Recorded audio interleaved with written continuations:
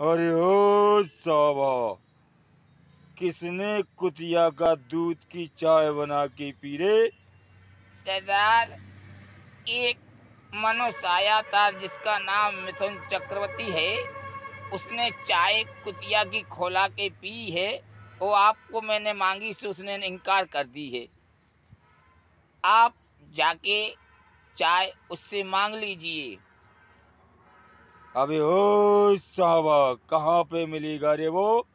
सरदार फटी धरती भावई नगरा हैरान गली परेशान मोहल्ला रहता है वो। नाम क्या है रे उसका? सर, उसका नाम मिथुन चक्रवर्ती है।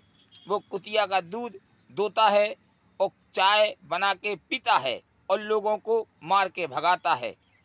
तो साले धराम के पिल्लू, तुम तीन, वो एक फिर भी खाली आ गए।